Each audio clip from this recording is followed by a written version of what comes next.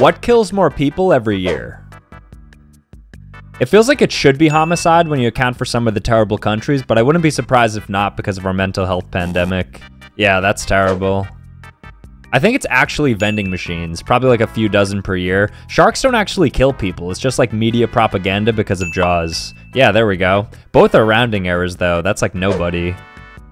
This is car accidents by a mile, probably in the millions. Major airlines have killed less than like 200 people over the last 30 years. Airplanes are really safe.